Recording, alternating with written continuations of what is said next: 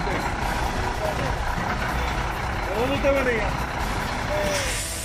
Nuevo Bonito. Nuevo Bonito. ¿Cuántos viajes? Uno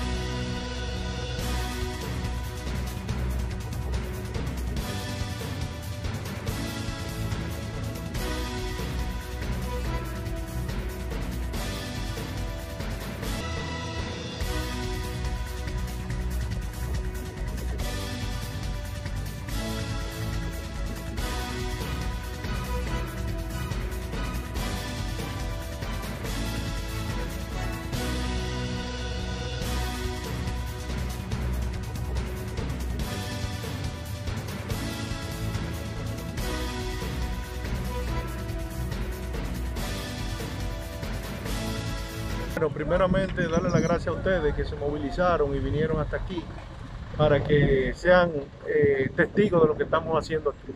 Ese camino que ya ustedes tomaron imágenes es un camino que Obra Pública ha abierto simultáneamente con el camino viejo que ustedes observaron que ya lo van a intervenir. Como ellos especifican en su carta, dicen que han mejorado un 1.1 kilómetros de los tres que tenemos aquí hasta llegar al vertedero originalmente. Pero eh, ustedes con su fe pudieron ver ya los equipos trabajando y como la cosa va funcionando y va evolucionando correctamente. En unos días eh, estaremos viendo una mejoría porque ya no hay turnos de camiones, ya hemos podido lograr de que no se hagan tapones. regularizarse aquí en San Francisco Macorís? Bueno, todo depende de los efectos climáticos que son también definitivos en este trabajo porque los caminos no son muy apropiados, pero entendemos que ya desde hoy mismo empieza la mejoría.